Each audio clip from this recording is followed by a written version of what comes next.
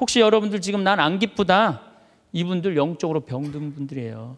이거 눈 지금 뜨고 있는 것만 해도 얼마나 은혜 놓은 거예요. 눈 하나 갈아 끼는데 1억이야, 1억. 두 개 갈아 끼면 2억이야, 2억. 지금 나 쳐다보고 있는 분들 여기 지금 2억 깔고 지금 쳐다보고 있는 거예요. 응. 엄청나게 부자들이 여기 앉아 있는 거 지금. 자, 여러분들 심장 심장 하나 갈아 끼는데 5천, 간 갈아 끼는데 7천, 신장 갈아 끼는데 3천이에요. 그럼 요거 합치면 3억 5천이에요.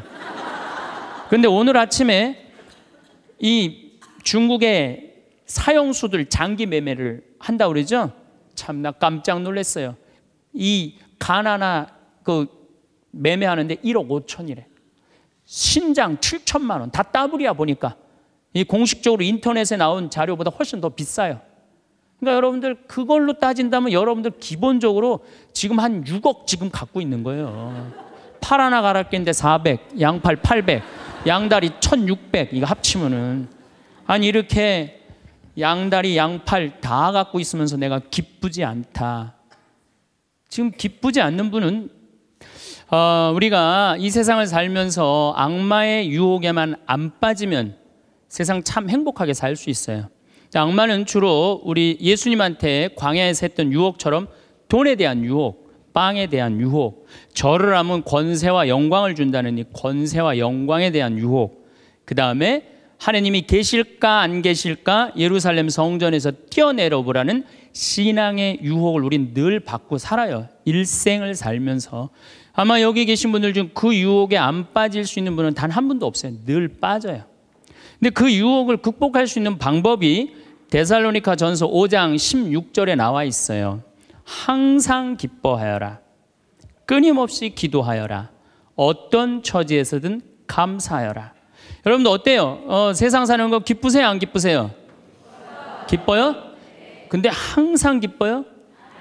그게 문제예요. 성서에는 뭐라고 나왔어요? 항상 기쁘라 그랬어요. 우리가 80평생을 산다고 보면은 아, 일을 하는데 26년을 쓴대요. 일을 하는데 잠을 자는데 한 23년을 쓴대요. 그걸 밥 먹는데 6년을 쓴대요. 그 다음에 사람 기다리는데 6년을 쓴대요. 그리고 텔레비전 보는데 10년을 쓴대요. 근데 너무 기뻐갖고 막 웃으면서 그 기쁨을 만끽하는 거는 22시간 3분밖에 안 된대요. 80평생에. 항상 기쁜 게 아니야, 항상 기쁜 게. 어, 근데 성서에는 항상 기쁘라 그랬는데 우리는 22시간 3분밖에 안 기쁘단 말이에요. 여러분들, 어, 월세 살고 전세 살 때 꿈이 뭐예요?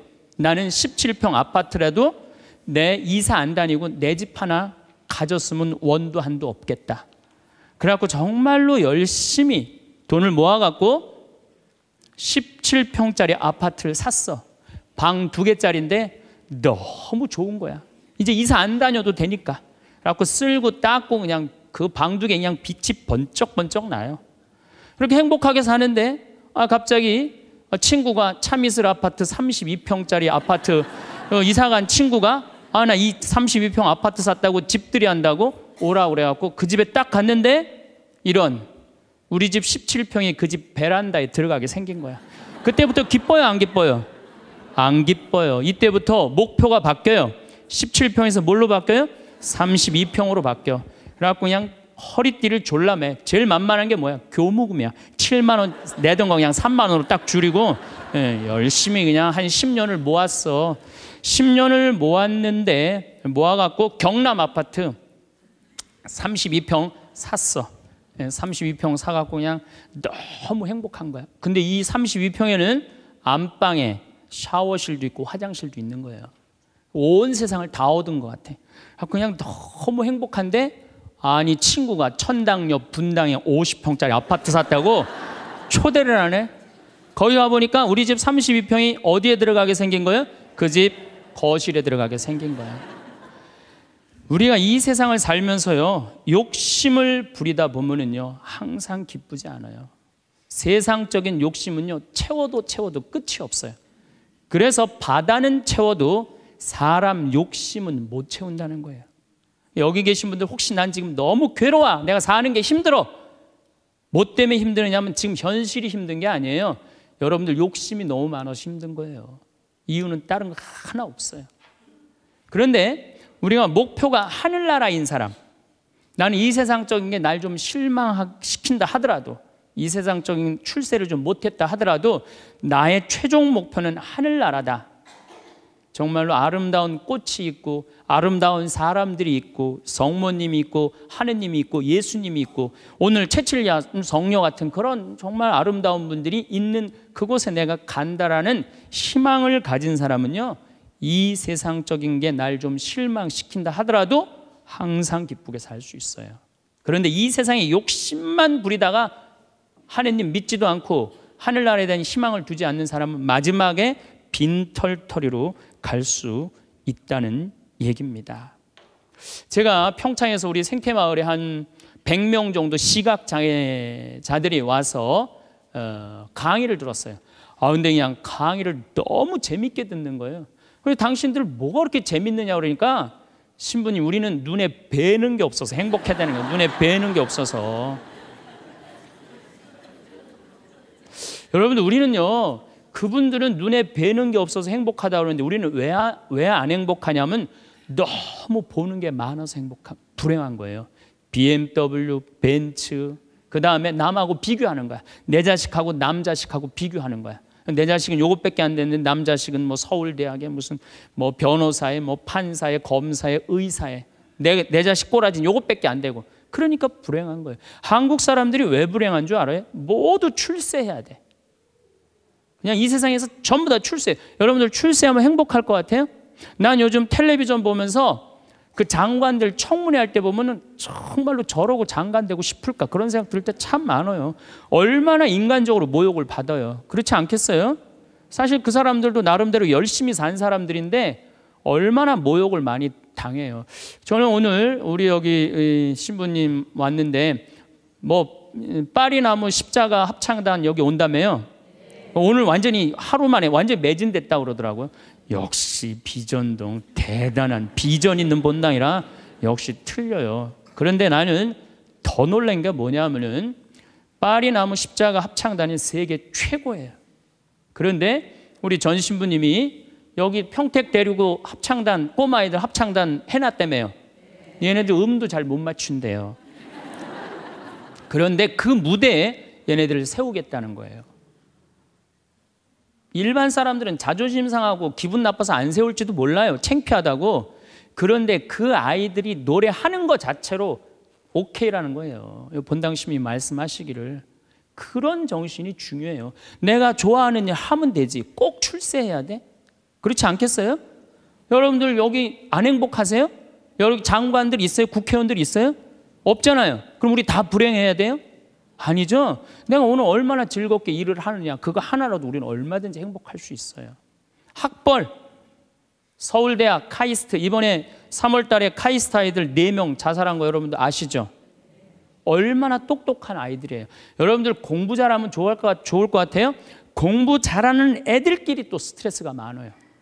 서울대학도 다 1등 하는 거 아니에요. 거기 한, 한 과에 40명이면 거기서 또 꼴등이 또 있어요. 거기서 또 꼴등이 있어요. 걔네들은 또 자괴감을 느낀다는 얘기예요.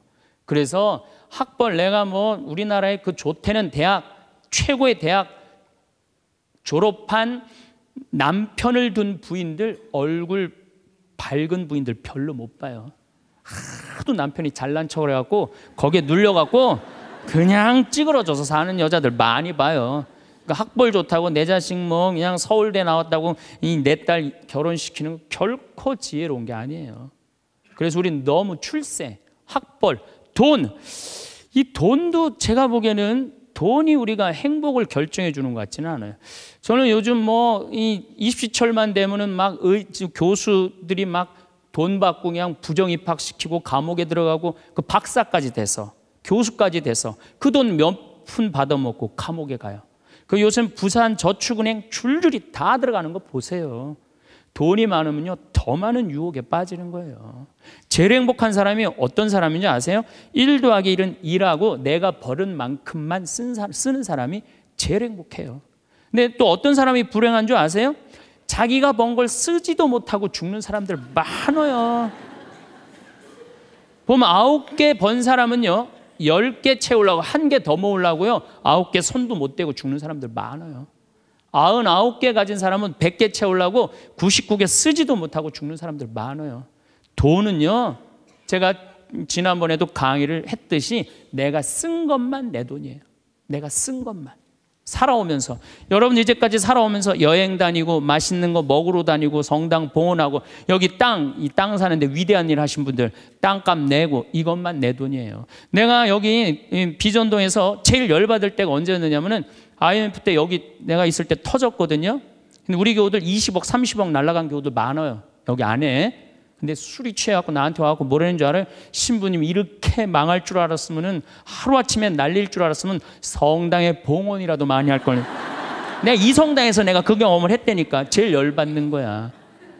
다 잃어버리고 후회하지 말고 언제 해요? 있을 때 하세요. 있을 때. 그러니까 여기 지금 땅 산 거 열심히 봉헌하세요. 예. 돈이 나를 행복하게 하는 건 아니에요.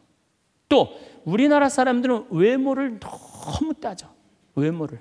이 네 가지가 우리나라 사람들이 기쁘지 않는 이유 중에 하나래요. 그래갖고 그냥 텔레비전 보면 그냥 저는 요즘 나이를 먹어서 그런 게 아니라 연예인을 구분을 못 하겠어요. 다 그놈이 그놈 같고 그 여자가 그 여자 같아요. 응. 다 똑같이 생겼어. 어떻게? 그런데 얼굴 잘생긴 남자들 여러분들 같이 살아보는 여기 자매님들 어때요? 속 끓어요 안 끓어요? 끓어요. 얼굴 잘 남자 얼굴은요 그저 둥글둥글하니 투실투실하니 그냥 후덕한 그런 얼굴이 제일 좋은 거예요. 잘생겨봤자요 바람이나 피고 골치 아파요. 또 여자 얼굴 이쁘면은 그거 피곤해요. 이 남자 저 남자 찝쩍찝쩍 거려서 예. 얼굴은 그저 나같이 씹다 뱉은 수제비 같이 생긴 게 제일 좋은 거야. 예. 제일 좋은 거예요. 예. 우리가 이 출세, 학벌, 돈, 외모만 매달리지 않고 나 생긴 대로만 사는 사람은요 너무 즐겁게 살아요. 우리나라 어, 직업 행복 지수 1등이 사진 작가예요. 사진 작가. 사진 찍는 사람들이 제일 행복하대요. 자연 다니면서 마음껏 세상을 다 담을 수 있잖아요. 얼마나 좋아요. 그러니까 여러분들 내가 원하는 일을 지금부터 찾아서 하라는 거예요. 여러분들 쉽게 안 죽어요. 여러분들 앞으로 지금 50대신 분들 손 들어 50대신 분들 손 들어 보세요. 나 50 넘었다. 여러분들 앞으로 60년 남아 있어요. 60년 동안 밥 먹고 자고 밥 먹고 자고 이 일만 할 수 없어요. 내가 원하는 일을 하다 죽어야 돼. 원하는 일을 하다 죽어야 돼. 지금부터 그 일을 찾아 나서야지 여러분들 행복해요. 그 시각 장애우들이 아시면 우리 눈에 뵈는 게 없어서 행복하다 그러더니 그분들이 우리 생태마을 앞마당에 보면 강이 내려다 보여요. 강이 내려다 보이는데 내 형제가 이 시각장애자인데 눈에 열이 너무 많았고 눈을 차라리 빼버리는 장애우들이 많아요. 그래서 아예 빼는 교우, 교우들도 있어요. 근데 눈을 정말로 다 뺀 형제 넷이서 그 강을 이렇게 내려다 보면서 내려다 보는 건지 안 내려다 보는 건지 잘 몰라도 어 얘기를 하는 걸 내가 들었어. 야 베드로야, 내가 우리나라 참 많이 다녀봤는데 이렇게 경치 좋은 데는 처음이라는 거예요. 그래서 내가 물어봤어요. 아니, 뭐가 그렇게 경치가 좋은지 당신이 어떻게 아느냐고 신부님, 강물 소리 들리지 않느냐 이거야. 그 다음에 새 소리 들리지 않느냐 이거야. 그 다음에 느티나무가 있는데 바람에 느티나무 흔들리는 소리 들리지 않느냐. 그 다음에 5월 달에 꽃이 만발했는데 이 꽃 향기 미친다는 거 맑은 공기에. 아니, 눈이 없는 우리, 보이지도 않는 우리 시각 장애우들도 이렇게 경치 좋은데 처음이라는데 우리는 그냥 두 눈을 다 뜨고 이 아름다운 별도 보고 하늘도 보고 단풍도 보고 이 평택 들판도 보는데 내가 안 기쁘다. 이 사람들 어때요? 영적으로 단단히 병든 것 같지 않아요? 혹시 여러분들 지금 난 안 기쁘다. 이분들 영적으로 병든 분들이에요. 이거 눈 지금 뜨고 있는 것만 해도 얼마나 은혜로운 거예요. 눈 하나 갈아 끼는데 1억이야, 1억. 두 개 갈아 끼면 2억이야, 2억. 지금 나 쳐다보고 있는 분들 여기 지금 2억 깔고 지금 쳐다보고 있는 거예요. 응. 엄청나게 부자들이 여기 앉아 있는 거 지금. 자, 여러분들 심장 심장 하나 갈아 끼는데 5천, 간 갈아 끼는데 7천, 신장 갈아 끼는데 3천이에요. 그럼 요거 합치면 3억 5천이에요. 근데 오늘 아침에 이 중국의 사형수들 장기 매매를 한다 그러죠? 참 나 깜짝 놀랐어요. 이 가나나 그 매매하는데 1억 5천이래. 신장 7천만 원. 다 따블이야 보니까.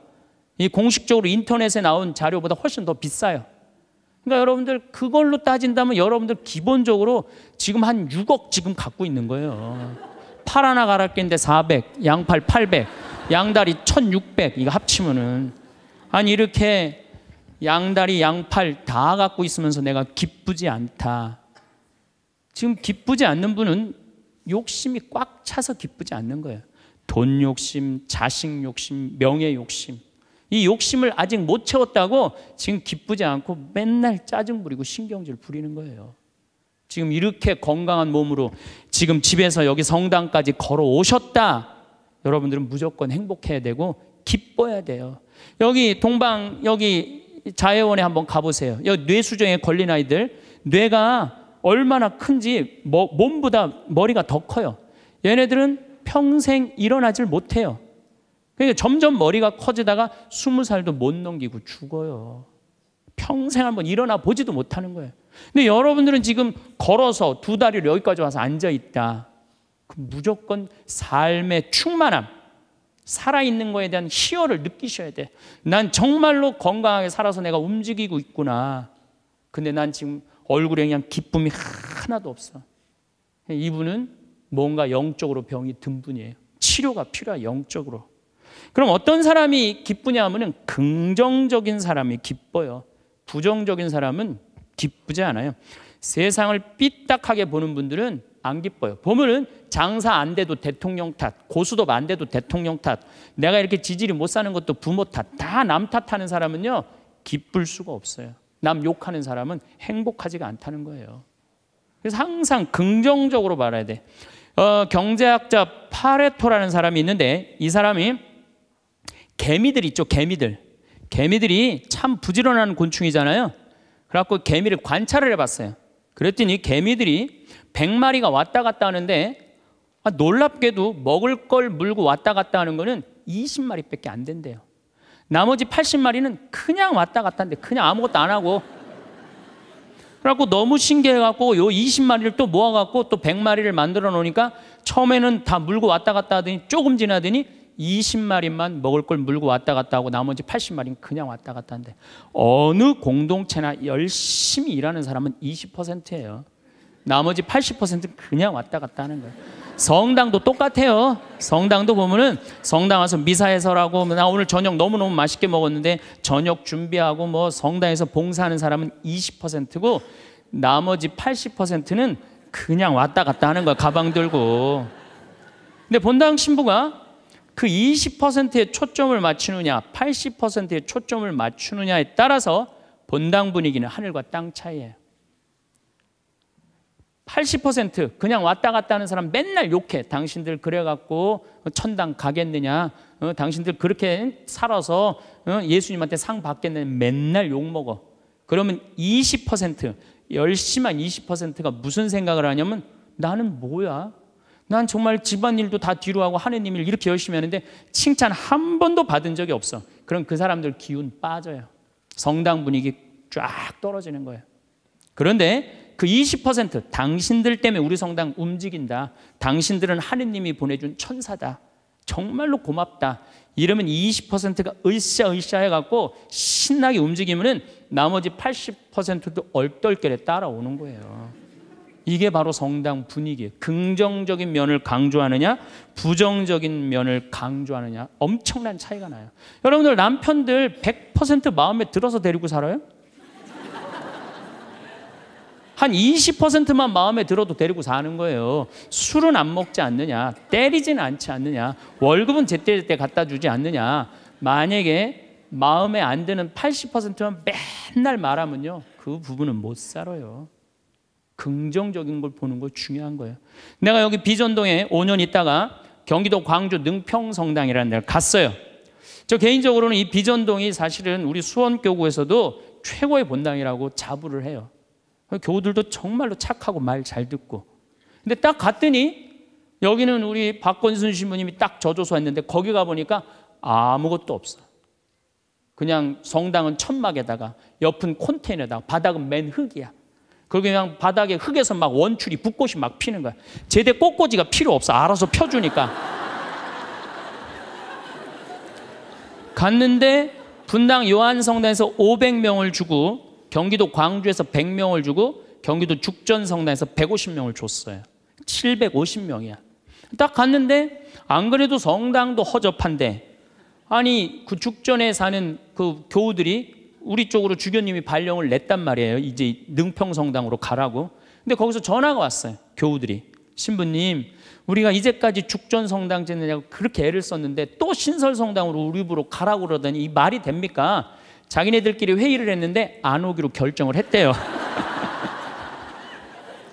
자, 제가 그 안 온다는 150명하고 싸웠을 것 같아요? 안 싸웠을 것 같아요? 안 싸웠어요. 왜? 그분들 와봤자 더 골치 아파요. 더 골치 아파요. 그래서 오지 말으라고 그랬어요. 근데 나한테 600명이야. 근데 우리 이 능평성당은 이 버스를 타고 이, 이 능평 교우들이 분당으로 나가면은요 버스 한 번이면 가요. 근데 우리 성당으로 오려면 두 번을 갈아타야 돼. 그러니까 교우들이 다 분당으로 나가는 거예요. 미사 참여 이제 딱 150명이 오는 거 150명이 주일날. 내가 여기 떠날 때 주일날 여기 1,700명이 왔거든요. 내가 막 떠날 때 여기가 주일날. 아, 1,700명 맨날 하다가 150명 오니까 이건 사람도 아닌 거예요. 숫자가. 너무 좋더라고요. 그래갖고 미산 딱 11시 미사 한 대. 한 대니까 미사 끝나면 맨날 돼지를 한 마리씩 잡는 거예요. 맨날 돼지를 먹는 거야. 맨날. 내가 내면 총회장이 내고 총회장이 내면 부회장이 내고 돌아가면서 그때는 돼지가 한 마리에 15만 원밖에 안 했거든요. 또 내가 가정 방문 다니면 막 개 키우는 집에 있으면 뭐 이런 걸 키우냐고 먹자고 그냥 잘 아실 거예요. 내가 얼마나 좋아하는지. 네. 그래갖고 그냥 맨날 성당 마당에서 불을 지펴놓고 맨날 먹는 거야. 그런데 놀랍게도 우리 성당 마당이 분당으로 나가면요 마당이 보여요. 그 분당 미사 참여 나가는 교우들이 맨날 성당 마당에서 그냥 불이 지글지글 일어난단 말이야. 저게 뭔가 하고 교우들이 자꾸 하나 둘씩 오기 시작하는 거야. 점점 점점 교우들이 느는 거예요. 근데 이 1년이 지났는데 죽전에서 안 오겠다는 교우들이 전화가 왔어요. 자기네들이 회의를 했는데 오기로 결정을 했대요.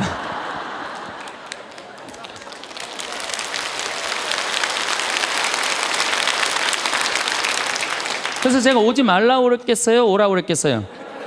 대환영이라고. 네. 그래서 오라고 떠났던 교우들이 다 오는데 교우들이 천명이 됐어요. 1년에. 근데 또 이제 아파트가 조금씩 조금씩 들어가고 2년 만에 2천 명이 됐어요. 그냥 너무 즐겁더라고요. 또 거기는 교우들이 그 시골 교우들이라 산에 가고 개구리 잡아오고 뭐 하여튼 나 황대 운동하는 신부인데 너구리 잡아오고 별걸 다 잡아와. 아, 이거 뭐 신부님 이거 개고기라고 그러고 거짓말하고 막 먹이고 너무 행복했어요. 그 예수 부활 대축일 끝나고 난 저기 막 사순절 끝나고 예수 부활 대축일 미사 끝나고 난 다음에 숫자가 조금이니까 엠마오를 가도 회장단하고 안 가고 본당 교우들 다 가자. 우리 그땐 또 IMF 망해갖고 노는 사람이 너무 많았어요. 다 가자니까 너무 너무 좋아하는 거야. 내가 애들한테 물어봤어요. 초등학교, 중고등학교 애들한테 야 니네들 지금 학교 가는 게 중요하냐? 예수님 부활해 갖고 지금 우리 엠마오 가는데 엠마오 가는 게 중요하냐? 그랬더니 애들이 엠마오 가는 게 중요하다는 거예요. 야외 학습 신청해. 그래갖고 엠마오 100명씩 데리고 평창에 놀러 가고. 너무너무 즐거운 거예요. 점점 점점 즐거운 거. 교우들이 3년째 됐는데 성당을 자꾸 짓재는 거예요. 이제 교우가 2천 명으로 늘어나니까 나는 안 짓는다. 아, 얼마나 아름다우냐. 그냥 땅바닥에서 그냥 원출이 붓고 피고 그러는데 아니 짓재는 거예요. 그럼 저 보자. 그래갖고 3년 9월에 시작해갖고 4년 부활절 입당을 했어요. 7개월 만에 성당을 줬어요. 7개월 만에.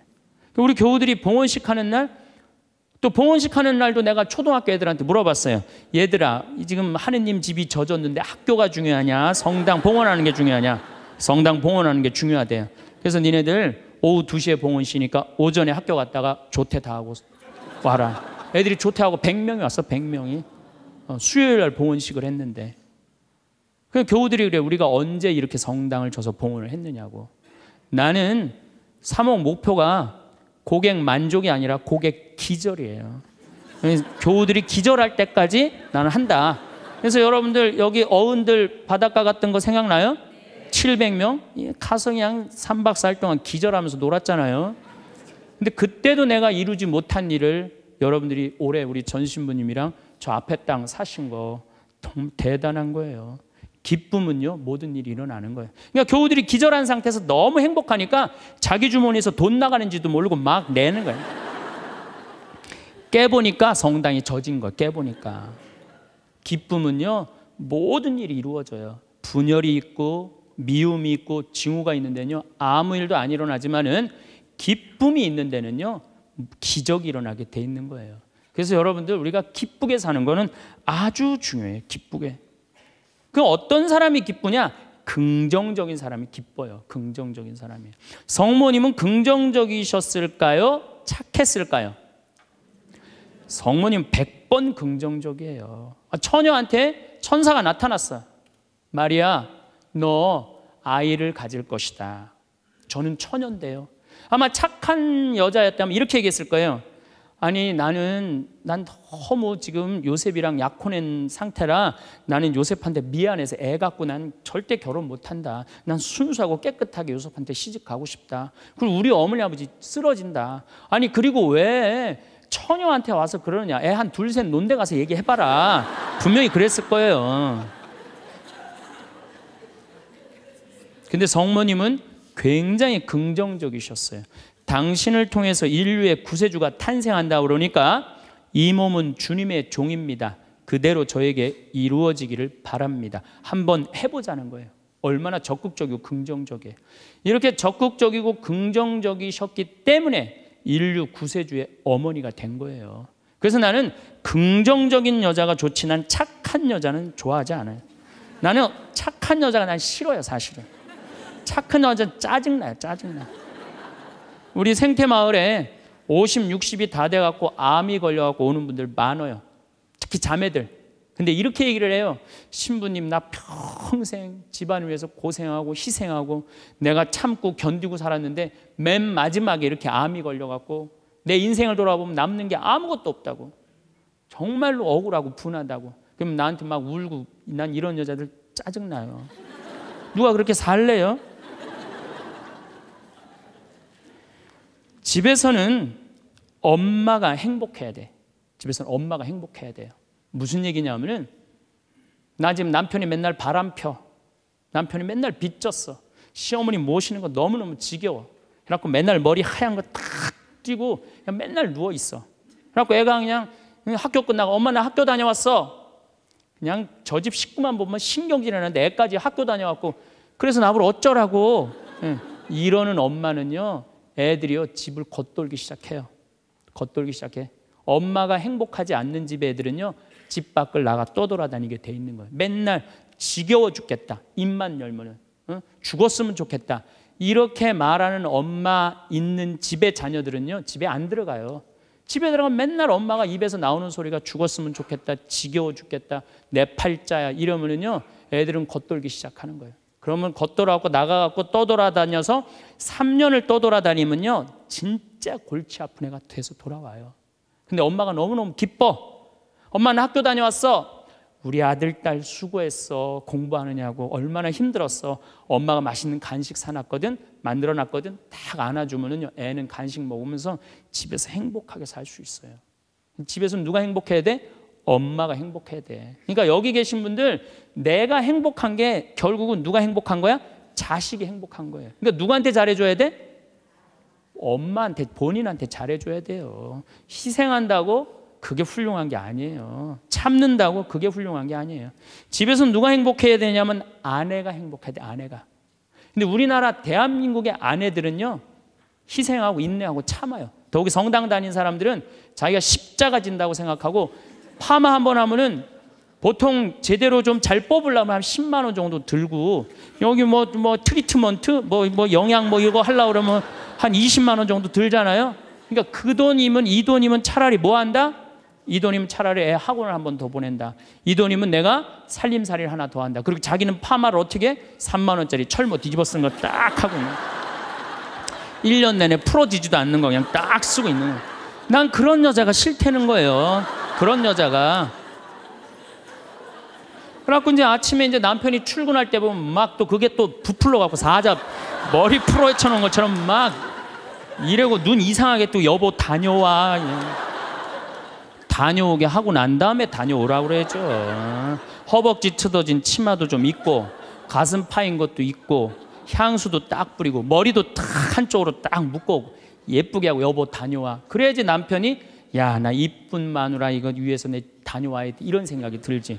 그냥 머리는 뭐 그냥 이래고 그냥 잠도 그냥 개슴치레갖고 다녀오라 그러면. 근데 또 대한민국 남자들은 착해요. 또 다녀오랜다고 저녁에 여보 나 다녀왔어. 근데 아직도 사자 머리를 하고 그냥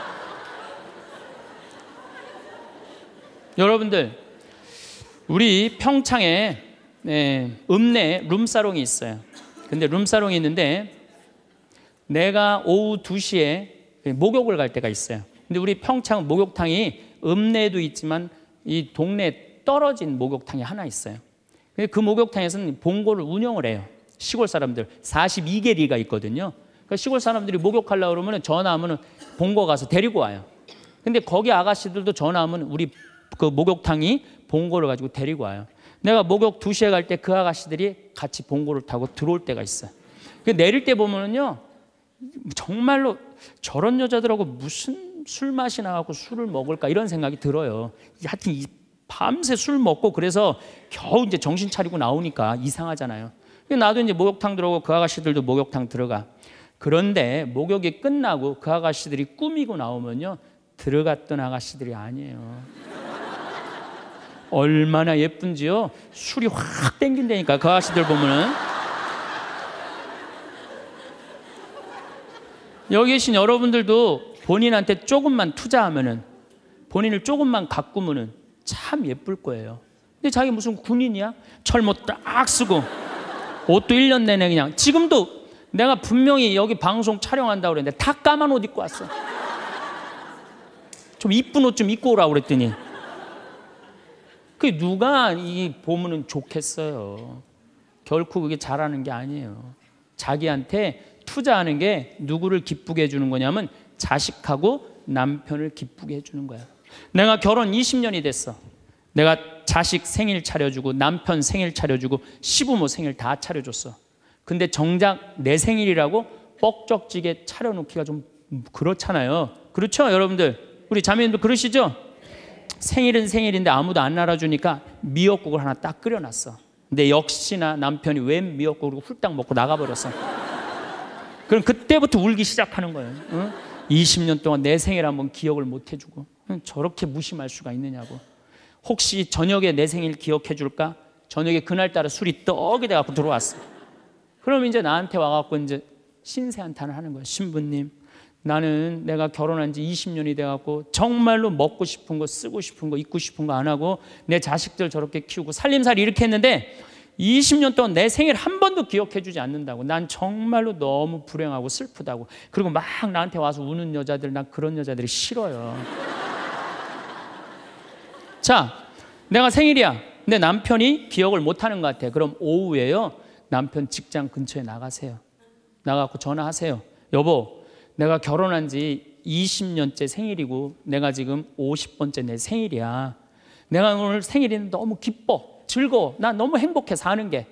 그래서 오늘 생일을 맞이해서 내가 한턱 쏠 테니까 나와. 내가 내면 되지. 그걸 그냥 기억해 줄래나 안 해 줄래나 역시 올해도 안 해주는구나 그리고 울고 그냥 청승을 떨어요 난 그런 여자가 싫다니까요 내가 내면 될 거 아니에요 그렇죠? 아, 내가 멋있게 내면 될 거 아니에요 무슨 돈으로 애 휴학 시키고 어, 학교 무슨 학교야 어, 엄마 생일도 모르는 놈 대학 보내서 뭐 해요? 그렇지 않겠어요? 결혼 25주년이 됐어. 10주년도 까먹더니 20주년도 까먹더니 25주년은 기억해 줄래나? 한 달 전부터 계속 기다리는 거. 혹시 결혼 기념일 뭘 해줄까? 근데 역시 그날도 그냥 넘어갔어. 나한테 와갖고 신부님 난 결혼 25주년 동안 한 번도 기념일을 선물을 받아본 적이 없다고. 그럼 막 눈물 흘리는 그런 여자들이 난 싫어요 결혼 25주년인데 남편이 기억을 못하는 것 같다 그럼 어떻게 하시면 돼요 여보 내 결혼 25주년인데 이번에 제주도가 7대 경관으로 뽑혔대. 내가 예약해놨거든 일주일 동안 다, 다 다음 주 휴학 저기 휴 저기 뭐야 휴가 내 같이 갔다 오자. 내가 내면 되지. 내가 내면 되지 않겠어요? 근데 자기를 위해서 투자하는 걸 나쁘다고 생각해요. 그리고 20년 동안 인상을 쓰고 사는 거예요. 그리고 그 집을 전부 어둡게 만드는 거예요. 집에서 누가 행복해야 돼? 아내가 행복해야 돼, 아내가. 아내가 행복해야 돼요. 집에서 누가 행복해야 되냐면은 며느리가 행복해야 돼, 며느리가. 며느리가 스트레스를 받고 남편한테 스트레스를 받고 자식한테 스트레스를 받으면요. 시부모는요. 더 미치는 거예요. 뭐가 기쁘다고 시어머니를 모시겠어요. 그러니까 여기 있는 우리 형제님들 내가 남은 인생 이게 참 안 죽는 게 문제예요. 옛날에는요. 평균 연령 46세 때는요. 조금 못 살아도 남편이 속색여도 시부모가 힘들게 해도 다 참고 살았어요. 왜 참고 살았는지 아세요? 몇 년만 참으면 죽을 거니까. 몇 년만 참으면 죽을 거니까 다 참고 살았어요. 요즘은 참고 살아도 50부터 110살까지 60년을 어떻게 참고 살아요? 뭔가 긍정적인 문제를 해결을 하고 행복하게 살아가야죠. 그러니까 집에서는 누가 행복해야 되냐? 며느리가 행복해야 돼. 그러니까 여기 있는 형제님들은 누구 행복만 책임지면 행복하냐면 마누라, 아내, 집사람만 행복하게 해주면요. 여러분들 일생은 남은 생은 전부 편안해요. 남은 생은. 그래서 집에서는 이제는 21세기는 누가 행복해야 되냐면 여자가 행복해야 돼. 여자가 행복해야지 모두가 행복한 시대가 오는 시대가 됐다는 얘기예요. 성모님도 뭐라고 그랬어요? 내 영혼이 주님을 찬송하며 나를 구하신 하느님 생각에 내 마음 기뻐 뛰노나이다. 성모님이요 그렇게 불행하게 산 게 아니에요. 굉장히 행복하게 사셨어요. 내 마음 기뻐 뛰논다. 그리고 인류의 구세주를 계속 키우셨는데 얼마나 행복하겠어요. 물론 마지막 날 아들 돌아가신 것 너무너무 마음 아팠지만은 금방 살아났잖아, 3일 만에. 그렇지 않아요? 근데 우린 뭐 통고의 어머니 뭐 고통의 바다 이러는데 내가 보기에는 성모님은요 굉장히 행복한 분이에요. 내 마음 기뻐 뛰논다 그랬잖아요. 또 성모님이 엘리사벳을 찾아갔을 때 엘리사벳이 뭐라 그래? 주님의 어머니가 나를 찾아주시다니 이게 어찌된 일입니까? 내 태중에 있는 이 아기도 기뻐서 뛰놀았다 그래. 세례자 요한도 성모님의 어머니가 오니까 이게 얼마나 생동감 있는 찬양이에요. 성서에는 슬픈 것만 있는 게 아니라는 거예요. 기쁨이 너무 많다는 거예요. 결정적으로 우리가 예수님을 십자가상의 예수님만 생각하는데 그렇지 않다는 거예요. 요한복음 13장에 보면 예수님이 제자들의 발을 씻어줘요. 발을 씻어주고 난 다음에 마지막 유언을 해요. 뭐라고 유언을 하냐면은 나는 포도나무요, 너희는 가지로다. 너희들이 정말로 내 옆에 붙어 있으면은 많은 열매를 맺을 것이다. 내 곁에 떠나지 말아라. 나하고 하나가 됐으면 좋겠다. 그리고 제자들을 향해서 뭐라 그래요? 아버지, 이 사람들이 하나 되게 해 주십시오. 아버지와 내가 하나이듯이 이 사람들도 하나 되게 해 주십시오. 그리고 나는 간다. 내가 가야만이 누가 오신다? 성령께서 오신다. 너 성령께서 오시면 너희들은 물어볼 게 아무것도 없다. 그리고 맨 마지막 이런 말씀을 하세요. 내가 이 말을 너에게 하는 이유는 내가 이 말을 너에게 하는 이유는 내 기쁨이 너희 안에 흘러 넘치게 하려는 것이다. 자, 예수님이 제자들의 발을 씻어줬어요. 최후의 만찬을 했어요. 그리고 마지막 유언을 했어요. 유언 맨 끝에 뭐라고 그랬냐면 내가 이 말을 하는 이유는 내 기쁨이 너희 안에 흘러 넘치려는 것이다. 지금은 고통의 시간이 다가오지만은 나중에 마지막 날에 하늘나라의 문이 열리면 너희들은 물어볼 것도 아무것도 없고 그 하늘나라를 얻었다는 기쁨에 너희들 가슴이 터질 것이다. 그러니까 여러분들 내가 구원받았다는 확신이 있는 사람들은요. 이 세상 힘들어도 이 세상이 좀 나를 실망시킨다 하더라도 내가 마지막에 하느님 아버지 집에 간다라는 확신이 있다면 어떨 것 같아요? 항상 기쁠 수 있어요. 항상 기쁠 수 있어. 근데 여러분들이 지금 어디에 욕심이 꽉 차 있느냐면은 이 세상에 욕심이 꽉 차 있는 거예요. 그렇기 때문에 여러분들이 참 신앙인이 못 되는 거예요. 신앙의 기본은 기쁨이다. 그래서 음, 사도 바오로가 저는 항상 기뻐하여라 이 말 굉장히 심오한 얘기 같아요.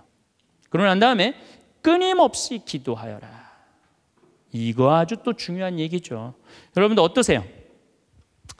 우리 천주교 교우들 기도 참 열심히 해요. 근데 무슨 기도를 열심히 하느냐면 간구 기도를 너무 열심히 해. 이 미사 지향을 내가 우리 생태마을에 뭐 피정 참 1년 내내 많이 와요. 구역장님, 반장님들, 뭐 노인대학, 레지오, 뭐 별 개인 프레시디움 별 단체가 다 와요. 정말 열심한 사람들이 우리 생태마을에 오세요. 근데 미사 지향을 보면은요 기가 막혀요. 전부 뭐냐면은 대학 입시 합격해 달라는 거. 그 다음에 딸 결혼시켜 달라는 거. 그 다음에 딸 애 생기게 해 달라는 거. 임용고시 합격하게 해 달라는 거. 그 다음에 전세 나가게 해 달라는 거. 월세 나가게 해 달라는 거. 어, 지금 분쟁이 걸려 있는데 분쟁 잘 되게 해 달라는 거. 이런 게 미사 지향이에요. 여러분 진정한 미사 지향은 내 영혼의 구원을 위해서 오늘 나를 위해서 미사 넣으신 우리 교우가 한 분인데 난 너무너무 고마워요. 나를 위해서 미사를 넣어야 돼요. 근데 우린 너무너무 간구 기도가 많아. 간구 기도를 자꾸 하느님께 드리다 보면은 내가 신앙이라는 건 내가 하느님의 뜻을 실천하려고 신앙생활하는 거예요. 근데 간구 기도를 자꾸 하다 보면은 나중에 보면 하느님이 내 뜻을 실천하고 있어. 하느님이. 그러니까 내가 하느님의 종이 아니라 누가 내 종이 돼 있어? 하느님이 내 종이 돼 있는 경우가 너무 많아. 하느님 내 종이 돼 있는 경우가. 그 신앙이 올바르지 않아요. 여러분들 자녀들이 서른 살까지 키워놨어. 네, 그랬더니 자녀 자녀가 와갖고 어머니 아버지 나 이렇게 서른 살까지 키워주셔서 너무 감사합니다. 차를 좀 그랜저로 바꿔드릴까요? 핸드폰을 좀 좋은 걸로 큰 걸로 바꿔드릴까요? 텔레비전 LED로 바꿔드릴까요? 집을 천당역 분당으로 옮겨드릴까요? 이런 자식은 토요일 날 온다면 기다려져요, 안 기다려져요? 기다려지죠? 근데 올 때마다 엄마, 나 이번에 우리 애가 대학 들어가는데 엄마 학비 좀 좀 대줘. 아, 거기 땅 있잖아. 그거 팔아갖고 어, 학비 좀 손자 학비 좀 대줘. 엄마, 나 차 좀 바꿔줘. 엄마, 나 집 좀 강남으로 가게 좀 돈 좀 좀 줘. 맨날 올 때마다 징징거리면서 달라고 그러는 자식. 엄마 나 토요일 날 집에 갈게 그러면 무서워요 안 무서워요? 무섭죠? 하느님도 똑같아요. 이렇게 하면 눈 두 개, 콧구멍 두 개 그냥 다 주셨는데 여러분들이 묵주기도 구일기도 책 딱 펼치고 묵주 딱 붙잡으면요 하느님이 깜짝 놀라는 거야. 이번 때 뭘 달라고 저게 또 구, 구일기도 시작하나. 그렇게 많이 줬는데 헌금이나 많이 하면서 달라면 내가 이해를 해. 여러분들 천 원짜리하고 만 원짜리가 길 가다가 만났대요. 천 원짜리가 만 원짜리한테 물어봤대요. 너 요즘 어떻게 지내느냐? 그랬더니 만 원짜리가 나 요즘 너무 바쁘다고 한국 시리즈 야구 구경도 가야 되고 연극도 보러 가야 되고 갈비도 먹으러 다녀야 되고 여행도 다녀야 되고 교회도 다녀야 되고 너무 바쁘다고 이 파리 나무 십자가 공연도 보러 가야 되고 너무 바쁘다고 어, 그러니까 만 원짜리가 또 예의상 천 원짜리한테 물어봤어요. 그러는 너는 어떻게 지내느냐 그랬더니 천 원짜리 하는 말이 나는 사는 게 하나도 재미가 없어. 그날이 그날 같고 매일 똑같아. 뭐가 그렇게 그날이 그날 같은데? 그랬더니 천 원짜리가 하는 말이 나는 하는 일이라고는 성당 다니고 성당 다니고 또 성당 다니고 성당만 다녀 그러더래요. 아니 하느님한테 헌금이나 많이 하면서 시키면 내가 이해를 해. 딸랑 천 원 주면서 뭐 이렇게 부탁하는 게 많아요. 미사 예물도 그래. 내가 보면은 이렇게 만 원짜리 미사 예물 넣고 막 열명씩 쓰는 사람들 많아요. 그 한 사람당 천 원이야, 한 천 원. 내가 내 얘기가 아니야. 내 동창 신부 얘기예요. 내 동창 신부님 얘기, 송영호 뻘건이 신부님 얘기예요. 아, 나 좋은 거 배웠어요. 그 신부님한테. 아니, 하느님한테 미사예물을 내면서 천 원을 내면서 여, 만 원을 내면서 열 명을 쓰면 어떻게 해. 그러니까 하느님이 천 원 받고 너무 바빠요. 천 원 받고. 헌금이나 많이 하면서 달라면 내가 이해를 해. 딸랑 천 원 하면서 그냥 자꾸 간구 기도를 하다 보면 하느님을 시험하게 돼요. 자꾸 간구 기도를 하다 보면. 하느님은요, 감사 기도, 찬양 기도를 드릴 때 오늘도 황창현 신부님의 행복 특강 잘 들으셨나요? 이어서 나이 들수록 들으면 도움이 되는 지혜의 말씀을 들려드리겠습니다. 친구는 모든 것을 나눈다. 풍요 속에서는 친구들이 나를 알게 되고, 역경 속에서는 내가 친구를 알게 된다. 남의 말을 열심히 듣는 사람은 말하는 사람 입장에서는 진실한 법과 같다. 행복은 선을 나의 것으로 함으로써 얻는 것이며, 선의 내용은 영원성에 있다. 그렇기 때문에 우리가 영원히 지낼 수 없는 것에 마음이 이끌려서는 안 된다. 사람은 다른 사람에게 어떤 행동을 하였느냐에 따라 그의 행복이 결정된다. 남에게 행복하게 해주려 했다면 그만큼 자신에게도 행복스럽다. 자기 자식에게 맛있는 것을 사주고 그가 좋아하는 것을 보는 것은 부모의 기쁨이다. 이는 형제간, 친구간, 이웃간, 나아가 낯선 사람 사이에도 공통되는 이치이다. 남에게 관대하였으면 내 마음이 넉넉해지지만 만일 인색하였으면 그만큼 내 마음도 좁아진다. 남을 때린 자는 밤잠을 이루지 못하는 법이다. 남에게 친절하고 관대한 것이 내 마음의 평화를 유지하는 길이다. 남을 행복하게 해줄 수 있는 사람이 또한 행복해진다. 플라톤은 행복하기 위한 조건 다섯 가지를 말했다. 첫째, 먹고 입고 살기에 조금은 부족한 듯한 재산. 부자가 되는 것은 행복의 목적이 아니라 수단이다. 돈은 많으면 많을수록 좋다는 것은 오산이다. 둘째, 모든 사람이 칭찬하기에는 조금 부족한 외모. 외모는 인간의 표지판일 뿐이다. 그 안에 있는 내용물을 보아야 한다. 외모가 아름다운 것보다 마음이 아름다운 것이 더 중요하다. 외모를 바꾸려고 애쓰지 말고 성격을 바꾸려고 애쓰라. 외모는 타인에게 보여주는 것이고 성격은 자신에게 보여주는 것이다. 셋째, 자신이 생각하는 것의 절반밖에 인정받지 못하는 명예. 명예란 자신의 가치를 인정받는 것이 아니라 자신의 가치를 증명하는 것이다. 명예란 타인에게서 받아오는 것이 아니라 자신에게서 나가는 것이다. 명예란 자신의 행위가 자신의 말과 일치할 때 얻어지는 것이다. 넷째, 힘을 겨루었을 때 한 사람에게는 이기고 두 사람에게는 질 정도의 체력. 체력은 인간의 가장 큰 재산이다. 체력은 모든 것을 얻게 해주고 체력 없이는 아무것도 얻을 수 없다. 체력은 인생의 기초이다. 그 기초 위에 지성과 정신이 세워진다. 다섯째, 연설했을 때 듣는 사람의 절반 정도만 박수를 치는 말솜씨. 연설은 말하는 것보다 생각하는 것이 더 중요하다. 연설은 말하는 방식보다는 말하는 내용이 더 중요하며 내용은 생각과 지식에 기반해야 한다.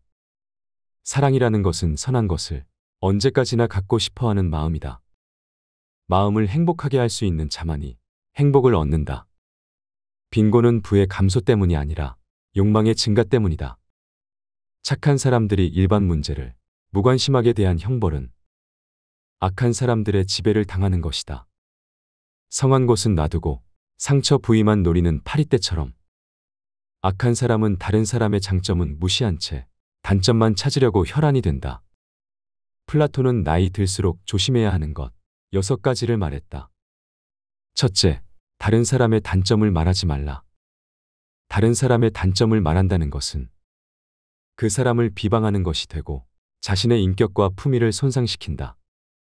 다른 사람의 단점을 보기보다는 장점을 보고 칭찬하고 격려하라.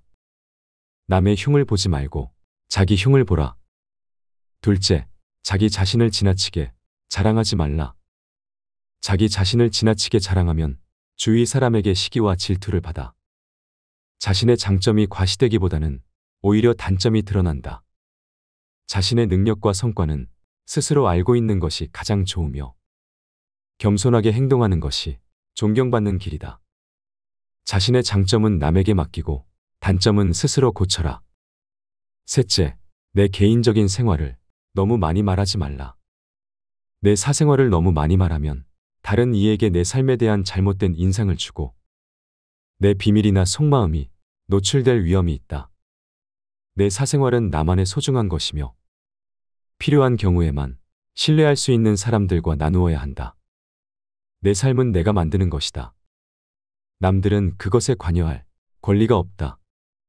넷째, 나의 약점을 다른 이들에게 말하지 말라.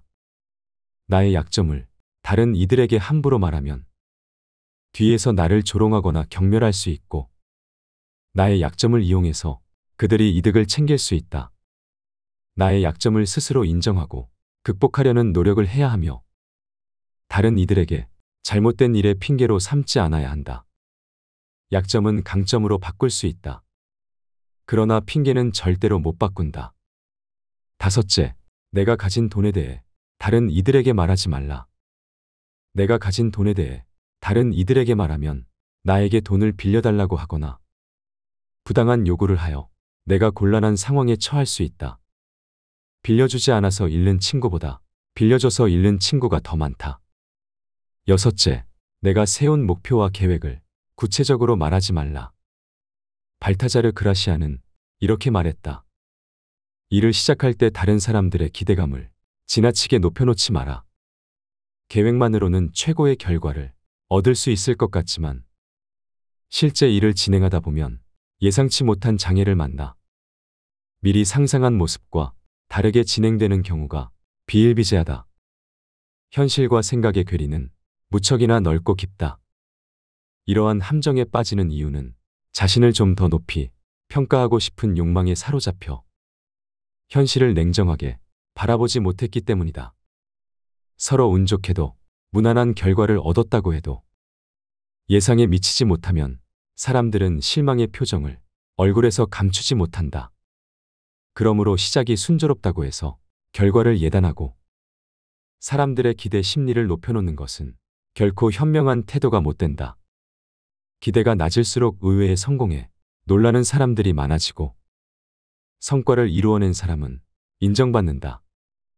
육체에서 비롯되는 쾌락의 상태가 줄어들면 들수록 그만큼 대화의 즐거움과 매력은 커지는 것이다. 국가란 인간이나 다름없다. 왜냐하면 국가도 인간처럼 가지각색의 성격으로 형성되어 있기 때문이다. 정의는 자기에게 어울리는 것을 갖고 자기에게 어울리도록 행동하는 것이다. 우리는 우리의 육체에 속박받고 있다. 인간은 자기 감옥 문을 열고 달아날 권리가 없는 죄수이다. 모든 것은 죽음과 함께 사라지기 마련 아닌가. 인간은 신이 자신을 소환할 때까지 기다려야만 하며 자기가 자기의 목숨을 거두어서는 안 된다. 자신의 능력에 의하지 않고 조상의 명성 때문에 존경받고 그것을 감수하는 것만큼 수치스러운 일은 없다. 인생이란 짧은 기간의 망명이다. 인간의 영혼은 불사불멸이다. 남에게 어떠한 행동을 하였느냐에 따라 그 사람의 행복도 결정된다. 남에게 행복을 주려고 하였다면 그만큼 자신에게도 행복이 온다. 자녀가 맛있는 것을 먹는 것을 보고 어머니는 행복을 느낀다. 자기 자식이 좋아하는 모습은 어머니의 기쁨이기도 하다. 그리고 이 이치는 부모나 자식 사이에만 적용되는 것이 아니다. 돈을 벌고자 한다면 돈을 쓰지 않으면 된다. 지혜, 용기, 전체가 조화될 때 정의가 실현되고 또한 만인의 행복을 보장하는 이상국가가 이루어질 수 있다. 지인들은 자신들도 이해하지 못하는 위대하고 지혜로운 말들을 짓거린다. 자제는 최대의 승리다. 필요는 발명의 어머니이다. 진실을 말하는 사람만큼 미움받는 사람은 없다. 정의와 무관한 모든 지식은 지혜가 아니라 쓸모있는 지식이다. 인간은 교육에 의해서만 인간이 될 수 있다. 인간에서 교육의 성과를 제거하면 아무것도 남는 것이 없다. 청소년에게 일을 시킬 때는 다소 잘못이 있더라도 변명할 여지를 남겨주도록 하라. 혹독한 질책은 청소년을 얼어붙게 만든다.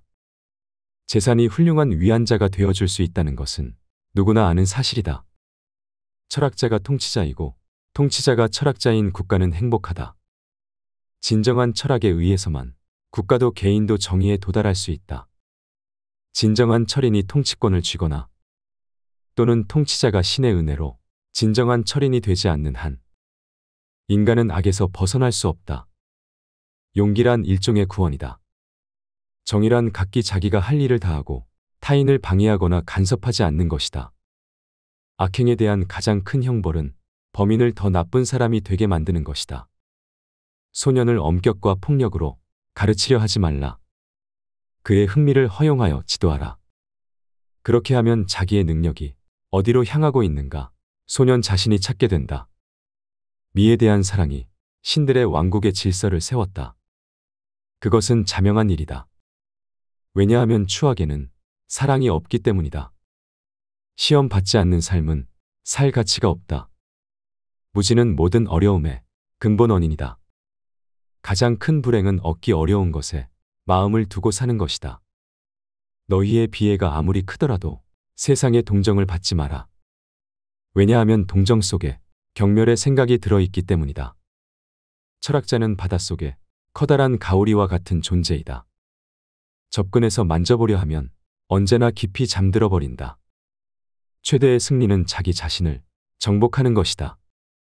자기 자신에게 정복당하는 것은 최대의 수치다.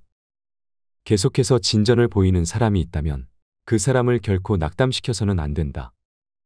그가 아무리 느리게 갈지라도 정치를 외면한 가장 큰 대가는 가장 저질스러운 인간들에게 지배당한다는 것이다.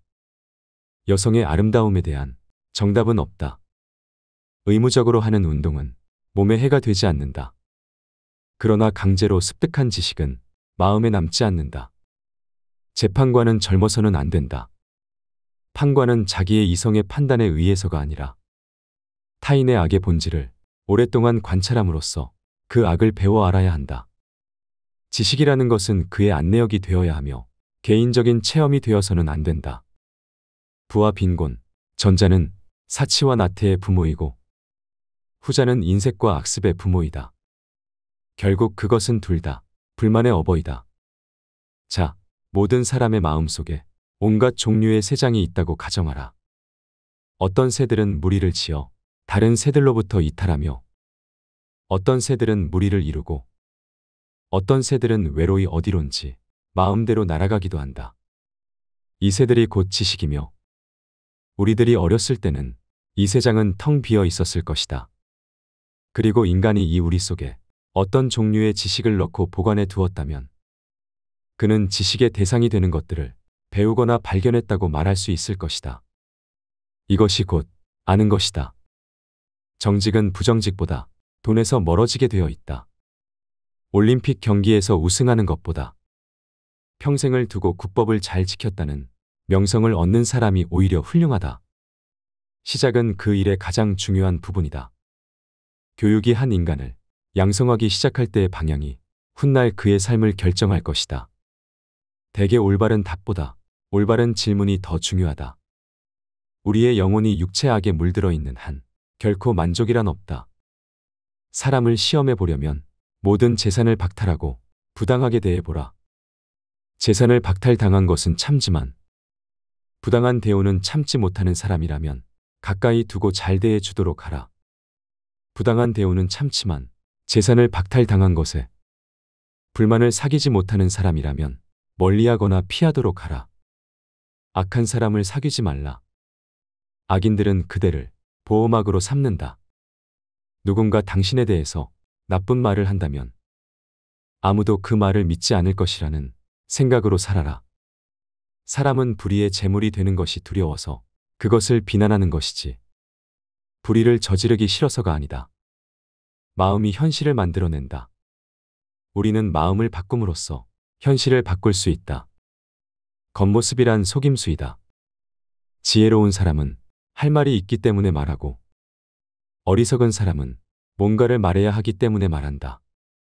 사람은 사랑할 때 누구나 시인이 된다. 덕은 건강이다. 덕은 아름다움이다. 덕은 영혼의 좋은 존재 양식이다. 거기에 반해서 악덕은 병이다. 악덕은 추함이다. 악덕은 영혼의 나쁜 존재 양식이다. 정의가 없는 지식은 지혜라기보다는 교활함이라고 불러야 한다. 많은 일을 완벽하지 않게 하는 것보다 작은 일을 잘 끝내는 것이 낫다. 탁월함은 재능이 아니라 연습으로 얻어지는 기술이다. 우리가 탁월해서 바르게 행하는 것이 아니라 진실은 바르게 행함으로 탁월함을 얻게 되는 것이다. 악한 행위를 하는 사람은 다른 사람은 물론 자신에게 더 큰 상처를 입힌다. 가장 적은 것으로도 만족하는 사람이 가장 부유한 사람이다. 자기 부모를 섬길 줄 모르는 사람과는 벗하지 말라. 왜냐하면 그는 인간의 첫걸음을 벗어났기 때문이다. 결혼해라. 좋은 상대를 만나면 행복할 것이고, 나쁜 상대를 만난다면 철학자가 될 것이다. 결혼하는 편이 좋은가, 아니면 하지 않는 편이 좋은가를 묻는다면 나는 어느 편이나 후회할 것이라고 대답하겠다. 누가 교육받은 사람인가? 첫째로, 교양 있는 사람이란 환경의 지배를 받는 사람이 아니라 환경을 지배하는 사람을 의미한다. 둘째로, 교양 있는 사람이란 어떤 경우에도 용감하게 행동하고 지적으로 생각하는 사람을 의미한다. 셋째로, 교양 있는 사람이란 모든 것을 명예롭게 처리하는 자. 다시 말해서 마음에 들지 아니하는 사람과 물건까지도 정정당당하게 처리하는 사람을 의미한다. 넷째로, 교양 있는 사람이란 쾌락을 절제하며 불행에 빠지지 않는 사람을 의미한다. 마지막으로 교양 있는 사람이란 성공 때문에 명예를 더럽히지 않는 사람을 의미한다.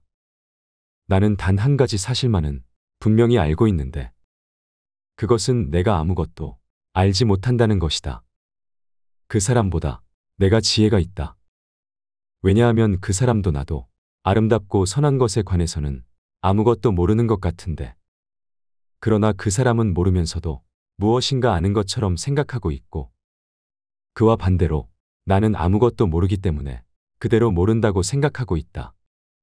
그래서 나는 모르는 것을 모른다고 생각한다는 바로 그 조그만 점에서 그 사람보다는 내가 지혜롭다 할 것이다. 말 타는 기술을 늘리려면 사나운 말을 골라 타야 한다. 사나운 말을 탈 수 있게 되면 다른 말을 다스리는 것은 쉬운 일이다. 내가 그녀를 견뎌낼 수 있다면 아마 이 세상에서 다루지 못할 사람은 없을 것이다. 행복을 자기 자신 이외의 것에서 발견하려고 바라는 사람은 그릇된 사람이다. 현재의 생활 또는 미래의 생활, 그 어느 것에 있어서나 자기 자신 이외의 것에서 행복을 얻으려는 사람은 그릇된 사람이다. 참된 견해를 갖고 있더라도 그것을 이해하지 못했다면 바른 길 위에 선 맹인일 뿐이다. 가질 수 있는 보물 중 좋은 평판을 최고의 보물로 생각하라. 명성은 불과 같아 일단 불을 붙이면 그 불꽃을 유지하기가 비교적 쉽지만 꺼뜨리고 나면 다시 그 불꽃을 살리기가 매우 어렵다. 좋은 평판을 쌓는 방법은 당신이 보여주고 싶은 모습을 갖추기 위해 노력하는 것이다. 먼저 좋은 친구가 되어주는 것이야말로 사람들의 마음을 얻는 가장 훌륭한 방법이다. 세상을 외면하고 있을 때 내 벽을 뚫고 오는 사람들한테 신경 써라. 인간은 자기가 갇혀 있는 감옥의 문을 두드릴 권리가 없는 죄수다. 인간은 신이 소환할 때까지 기다려야 하며 스스로 생명을 끊어서는 안 된다. 가장 빠르게 덕이 높은 인간이 되기 위한 최선의 방법은 그렇게 되도록 자신의 수양을 쌓는 일이다. 덕이 높은 사람들을 보면 그들은 모두 스스로의 노력에 의하여 위대해졌다는 사실을 알게 될 것이다. 자신이 가진 것에 만족하지 않는 사람은 자신이 원하는 것에 만족하지 않을 것이다. 나는 잘 되겠다고 노력하는 그 이상으로 잘 사는 방법은 없고 실제로 잘 되어 간다고 느끼는 그 이상으로 큰 만족은 없다고 생각한다. 이것은 내가 오늘날까지 살아오며 경험하고 있는 행복이다. 그리고 그것이 행복한 것을 내 양심이 증명해 주고 있다. 내가 당하기 싫은 일은 하지 마라. 가장 나쁜 사람이 누군가. 그대가 줏대 없이 이리저리 마음이 흔들리도록 꼬드기는 사람이다. 아, 나의 아들이여. 내가 만일 부모의 근심을 모른다면 아무도 너의 벗이 되지 않을 것이다. 나의 집이 비록 작더라도 진정한 친구로 채울 수만 있다면 만족하겠노라. 우정은 느리게 시작하고 항상 유지해라. 사탕 발린 칭찬이 아닌 분별 있는 애정의 증표로 친구를 사귀라. 친구와 적은 있어야 한다. 친구는 충고를, 적은 경고를 해준다. 모든 언행을 칭찬하는 자보다 결점을 친절하게 말해주는 친구를 가까이 하라. 사냥꾼은 개로 토끼를 잡지만 아첨하는 자는 칭찬으로 우둔한 자를 사냥한다. 세상을 움직이려면 먼저 자기 자신을 움직여야 한다. 지금에 만족하지 못한다면 여건이 좋아져도 절대 만족할 수 없다. 내가 보이고 싶은 대로 행동하라. 모든 일에는 양면성이 존재한다. 한가로운 시간은 무엇과도 바꿀 수 없는 재산이다. 난 가장 적은 욕심을 가졌으므로 신에 가장 가까운 존재다. 이별의 시간이 왔다. 우린 각자의 길을 간다. 나는 죽고 너는 산다. 어느 것이 더 좋은가는 신만이 안다. 회의는 철학자가 감지하는 것이며 철학은 회의로부터 시작된다. 지혜는 부자들을 아름답게 하고 가난을 부드럽게 한다. 토론이 끝나면 패자는 중상모략을 하기 마련이다. 지혜는 호기심에서 나온다. 만족은 천연의 재산이다. 내 자식들이 해주기 바라는 것과 똑같이 내 부모에게 행하라. 살기 위해 먹어야지 먹기 위해 살아선 안 된다. 어려서 겸손해져라. 젊어서 온화해져라. 작년에 공정해져라. 늙어서는 신중해져라. 한 가지 일에 착수하면 중도에서 그만두지 말고 열심히 완벽을 기할 때까지 힘들여 완성토록 하라. 알고 있다는 것은 내가 모른다는 걸 안다는 것이다. 이게 진정한 지혜다. 이 세계는 정의에 의해 존재한다. 정의가 없다면 이 세상에 어떤 피조물도 존재할 수 없다. 삶에서 멀리 가면 갈수록 그만큼 진리에 가까이 하는 것이다. 더 나은 삶을 찾는 것이 최고의 삶을 사는 것이다. 죽음을 면하기란 그다지 어려운 일이 아니다. 오히려 비굴함을 면하기가 훨씬 더 어렵다. 그것은 죽음보다 더 빨리 달리기 때문이다. 우리가 존중해야 하는 것은 단순한 삶이 아니라 올바른 삶이다. 유일한 선은 알미요. 유일한 악은 무지이다. 인간사에는 안정된 것이 하나도 없음을 기억하라. 그러므로 성공에 들뜨거나 역경에 지나치게 의기소침하지 마라. 죽음은 인간이 받을 수 있는 축복 중 최고의 축복이다. 인생의 시초는 곤란이다. 그러나 성실한 마음으로 물리칠 수 없는 곤란이란 거의 없다. 내 마음은 관상가가 하는 말과 같이 실로 흉악함에 차 있다. 단지 내가 이를 잘 이겨서 행동으로 나타나지 않을 뿐이다. 질문을 이해하는 것은 정답의 반을 찾은 것이다. 변화의 비밀은 새 것을 쌓는 데 있다. 과거를 바꾸려 하지 마라. 자네가 물에 빠져 숨 쉴 공기를 원했듯이 지식을 원한다면 자네도 얻을 수 있다네. 인생은 사는 것이 중요한 문제가 아니라 바로 사는 것이 중요하다. 각자의 건강에 주의하라. 사려분별이 있는 인간은 운동과 식사 문제에 주의해서 무엇이 자기에게 좋고 무엇이 자기에게 나쁜 것인가 하는 것을 의사 이상으로 잘 알아야 한다. 보다 나은 인간이 되기 위해 애쓰면서 사는 것보다도 더 훌륭한 삶은 없다. 그리고 실제로 보다 나아지고 있음을 느끼는 것보다도 더 큰 만족감은 없다. 주위의 소중한 분들에게도 공유해 주시면 좋을 것 같습니다. 한 번 더 들으시면 가슴에 더욱 새겨질 것입니다.